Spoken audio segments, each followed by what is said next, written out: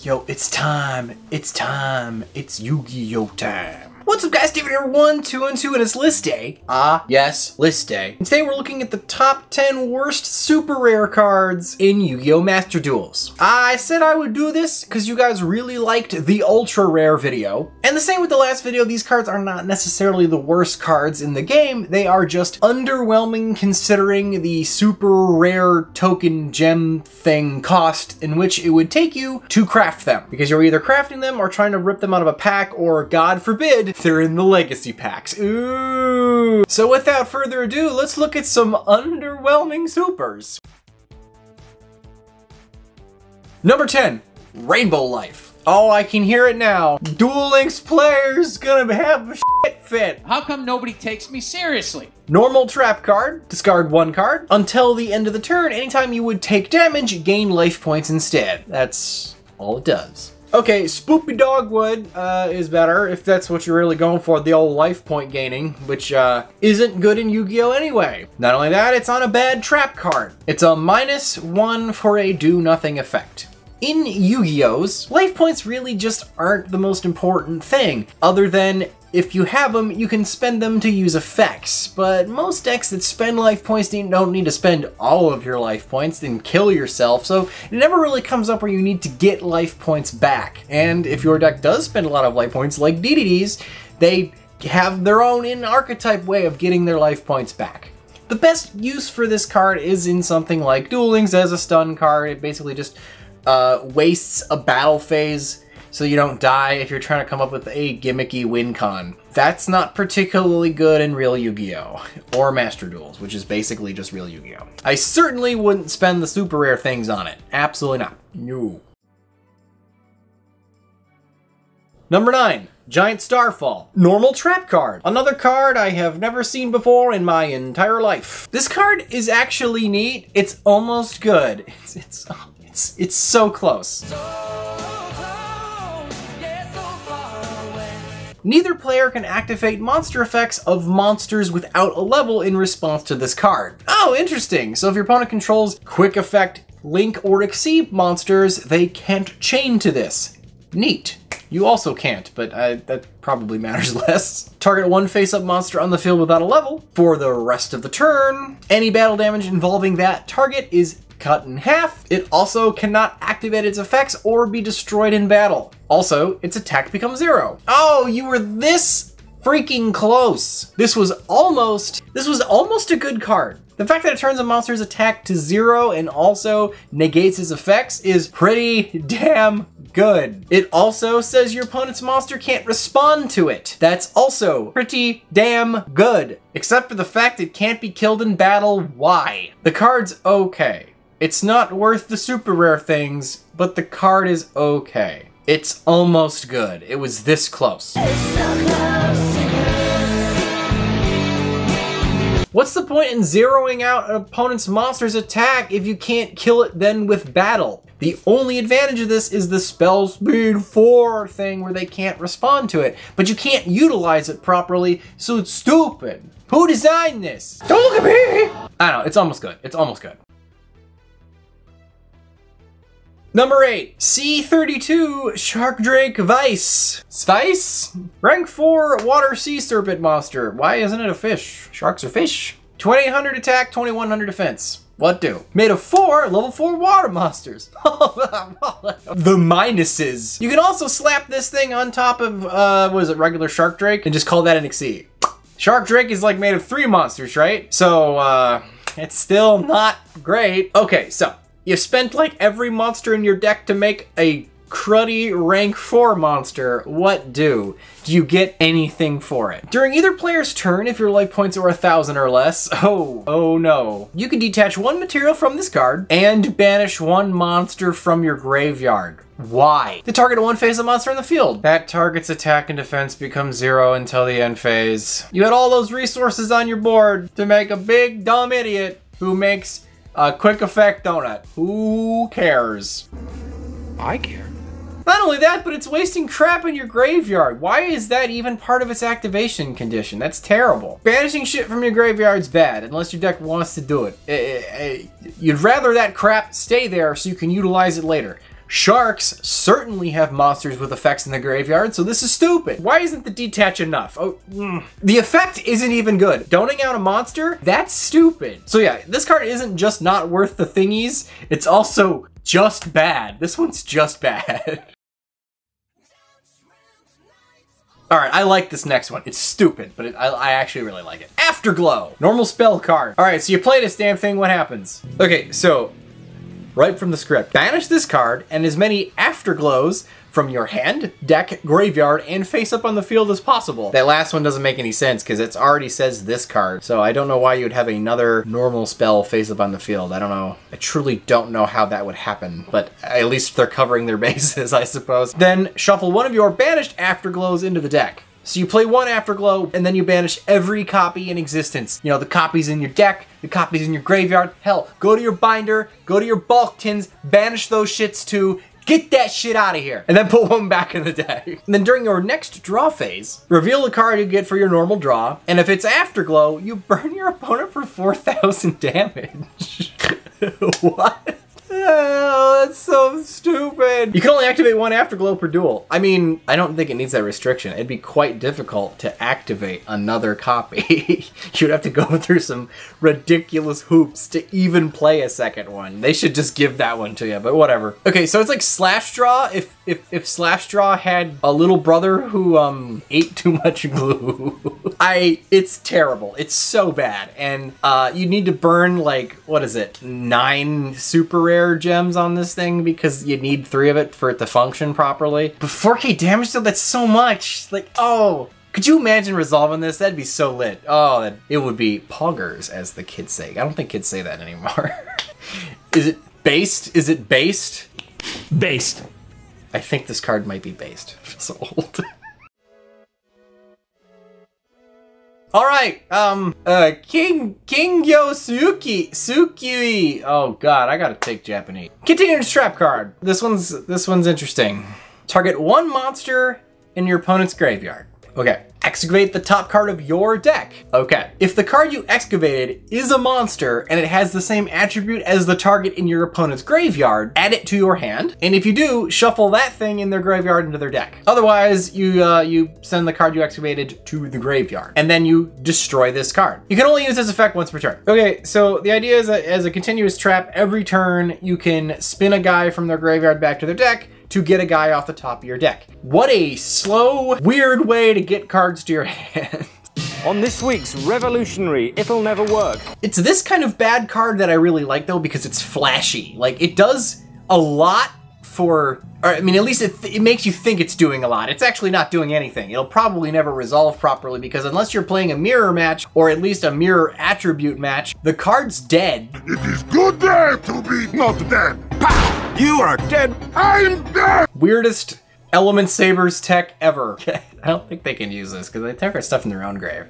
Right? But if you could reliably use it, you'd be constantly spinning crap back to your opponent's deck and also getting a card off the top of your deck, and that, that's pretty solid advantage. So if you could come up with a gimmick deck that ran it, it would be at least funny.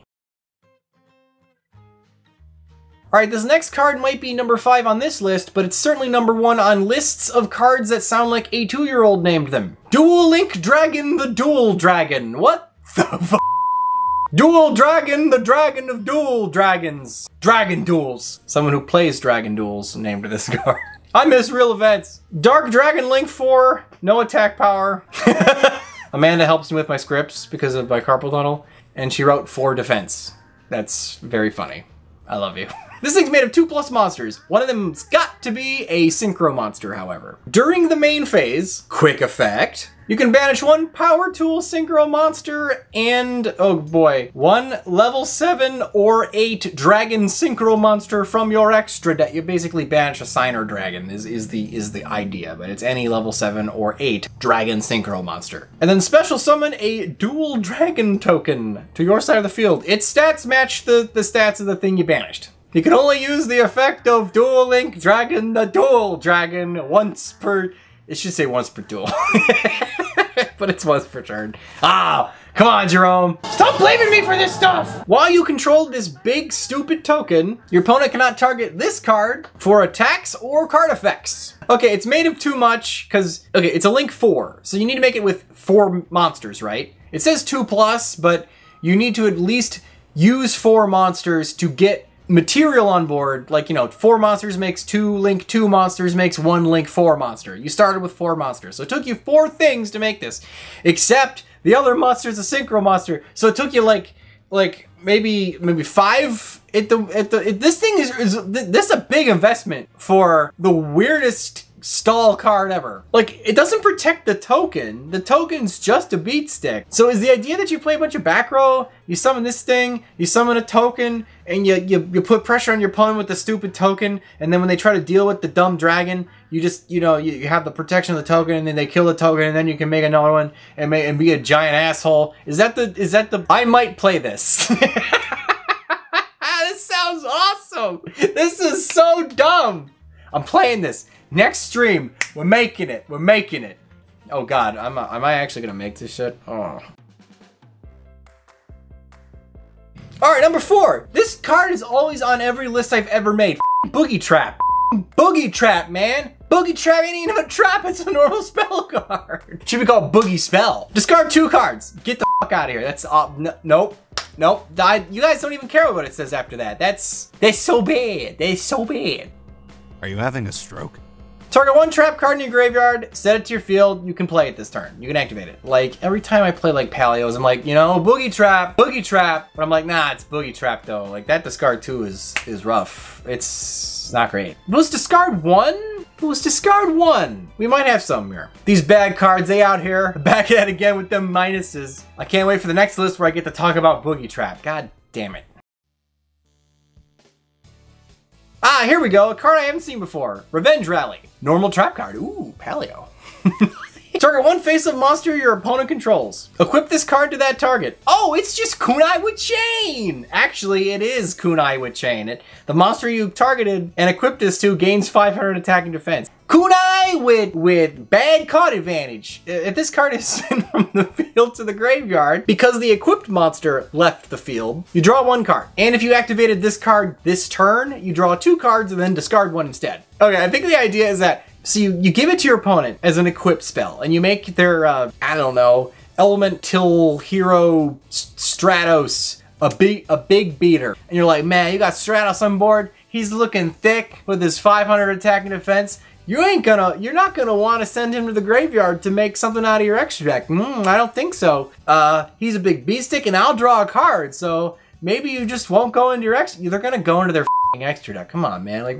Oh, what? like, this card's idea of trying to, like, convince your opponent not to just go off and link spam is, like, the most recess playground level try of negotiations I've ever, like, you know, you, you could just eat your, your Swiss cake roll, but uh, you could have this this uh, sour pickle here instead, and, and and you get to have a pickle instead of that delicious cake roll that you're not gonna want. And then and your opponent's like, oh yeah, you know what, I do want a pickle. Then they realize they got they got hornswoggles. That's what this is. Number two is Goblin Circus. Continuous spell card. Yes. During each of your end phases, ah, here we go. Reveal the bottom card of your deck. Sure, okay. Then place it on the top of your deck or banish it face down. Wow. But just when all hope seemed lost, I had an epiphany. I am going to throw myself into the sea. I love this list because every one of these cards isn't just a bad card like like Larva Moth, where it's just it doesn't do anything and it's stupid. Like these are all bad, but just in the gimmickiest, most ridiculous strategy possible. These cards are awesome. Like what what the are you expected to do with this? It's like, oh, cool. The bottom card of my deck just happens to be the card I need. Better put on the top of my deck for the next turn. Very cool. You know what? You know what this is good in? Uh, spirals. This is good in spiral. Uh, in that it's at least functional. It is not good. Because you don't need to play drone anymore to know what the top card of your deck is. You put it there. You know what it is. Except it's during your end phase, That doesn't even help you. All right, so when the guys in my Discord make lists for me, because I have a full-time job and a house to take care of, and you know, and, and, and toys to dust, I let my Discord handle it. They, they seem to enjoy it. They give me some cool content. I get to come up here and read some cards I've never seen before. It's an experience for everybody. Um, but my one rule is try not to include too many archetype cards because that doesn't only require me to understand how the game works, but also how a deck works. And I can tell you that second one can get a bit dubious. That being said, Ancient Gear Hydra. oh, here we go. Level 7 Earth Machine. Hey, that's a plus. 2700 attack, uh, 1700 defense. Okay, it sounds sounds like an Ancient Gear. What's neat about this card is it changes its effect depending on what monster you tributed to tribute summon it. Uh, tribute summoning is bad. Bear with me. If you tribute summoned another ancient gear monster in order to play this card, at the end of the damage step, if this thing battled a monster and it didn't kill it, you can just banish that opponent's monster. That's pretty okay removal. It's like if uh, Construct uh, was terrible. presumably it dies because it didn't win the fight. Now, uh, I guess if you played that card that was up there where it prevented your opponent from, you know, killing the monster, you could do a bunch of damage and then banish it. Yeah, I, I, this would be a combo, I guess. But the other effect is if you tribute summon this thing using a gadget monster, you can attack each one of your opponent's monsters one time. So like, uh, because this is a level 7, you could tribute both a gadget and an ancient gear and get both effects. And then and then you're clearing a board, maybe. And it, it has an effect as if an ancient gear monster you control attacks, your opponent can activate spell, trap, or monster effects. So it has that ancient gear thing. So that that's at least cool. So my little note here from my Discord says it doesn't have much synergy with its own archetype, which means no one uses it. So uh, it makes no sense for an ancient gear player in Master Duels to spend his gemmy things on this because he's not going to use it. But it also does at least concede that um, despite tribute summoning being stupid, its effect is kind of okay. So, so you, you know what? Uh, it might be a fun tech in, uh, I don't know.